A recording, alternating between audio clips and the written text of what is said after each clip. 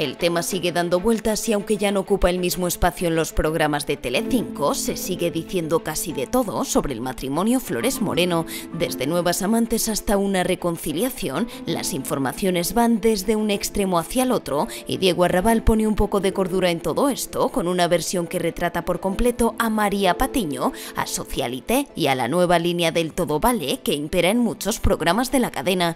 Arrabal sigue confirmando que no ha habido ruptura y que lógicamente tampoco reconciliación, pues siguen juntos. Vuelvo a repetir, sentencia va dejando muda a Emma García y también a Kiko Matamoros, que Antonio David y Olga no han roto en ningún momento. Que hayan tenido una crisis, no lo sé. Ellos cierran la puerta de su casa y yo no me meto dentro. Hay compañeros sentenciaba que están tuneando el tema y diciendo que se han reconciliado. El tiempo concluía, me dará la razón.